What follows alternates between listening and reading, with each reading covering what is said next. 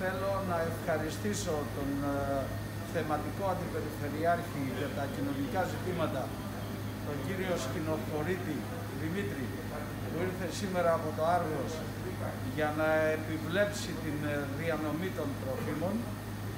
Επίσης και τον Γενικό Διευθυντή Υγείας, τον κύριο Διαμαντόπουλο, καθώς και την κυρία Κονταντούλα, την ε, προϊσταμένη στην ιατρικής, για τη δουλειά που κάνανε και πριν την ε, έναρξη της διανομής, αλλά και κατά τη διάρκεια, όπου ελέγχονται τα τρόφιμα και τα όπορολαχβανικά από την Διεύθυνση Γεωργίας, αλλά και το κρέας από την, ε, την ιατρική.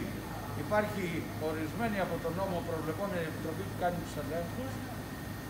Τα πράγματα είναι αρκετά καλά. Μπορώ να πω ότι η ποιότητα όσα σήμερα εμείς ανοίξαμε των τροφίμων ήταν άριστη.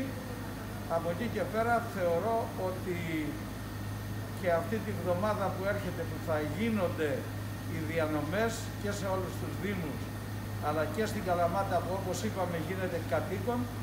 Εδώ είναι η έδρα, η βάση με τα μεγάλα ψυγεία όπου συντηρούνται τα ευπαθή τρόφιμα και τα μικρά φορτηγάκια που κάνουν τη διανομή κατοίκων εντός της Καλαμάτας ε, μέσα σε μία ώρα έχουν κάνει την διανομή και έρχονται πάλι εδώ για να ξαναφορτώσουν.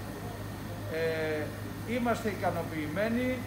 Θεωρώ ότι αυτή η διανομή αρκετά μεγάλη για τη Μεσσηνία, η συνολική που βέβαια για όλη την περιφέρεια είναι 930.000 ευρώ, πιάνει τόπο διότι οι ε, συμπολίτες μας οι οποίοι τα έχουν ανάγκη παίρνουν ένα χέρι βοηθείας.